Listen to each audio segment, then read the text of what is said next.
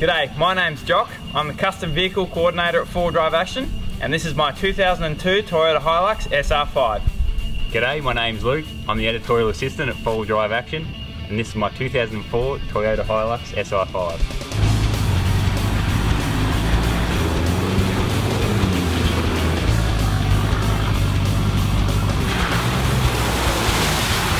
At the front of the truck I've got an ARB bull bar paired with a set of ARB side steps and brush rails.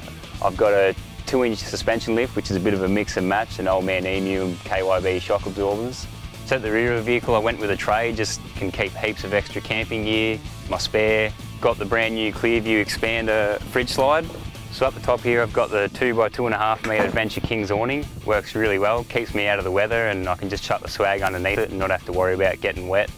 Also under the tray, this is where I house my second battery, purely because there's not much room underneath the uh, engine bay.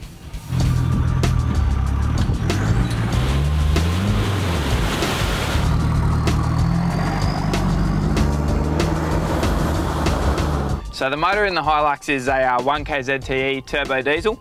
Um, recently I added the top mount air to air intercooler. I was umming and ahhing for a while if I wanted to go front, water to air or top. I eventually decided to go um, the top mount just because there's less to go wrong and it's not down blocking the radiator and getting mud and things in it. So at the back of the truck I've got a ARB rear bar. I picked it up dirt cheap off a bloke after I dented the factory rear step. So in the back of the truck I've just got a couple of storage boxes for tools and camping gear as well as my fridge and uh, I'm starting to rewire all my 12 volt system to the back of the tub as well.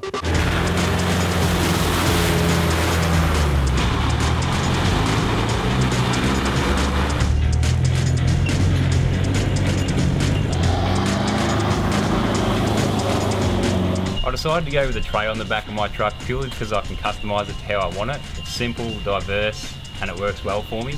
And I decided to go with the style side rear because I like the look of them. You can load them up real high and then you can add things like canopies to lock stuff as well.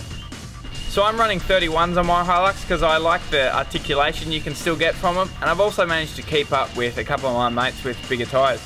Yeah, I chose the 33s over the 31s purely because you've got that extra wider footprint and that little bit of extra ground clearance, which is really good for an IFS vehicle.